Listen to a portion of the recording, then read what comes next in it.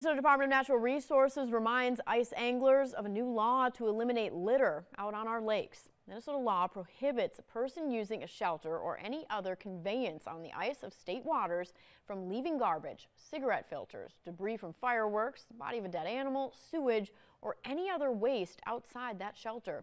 The DNR says that during the winter months, one of the most common complaints they receive is about litter left on the ice wash up on shores of these landowners or lakeshore owners who have to deal with that in the springtime. And it really is a mess. It's unsafe for them. It's unsanitary. It's it's a uh, health issue for our fish and other organisms that live in our lakes.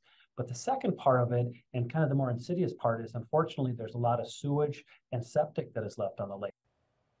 The DNR says they take these complaints seriously and work to locate violators. Breaking this law will result in a petty misdemeanor and carries a fine of $100 for each violation.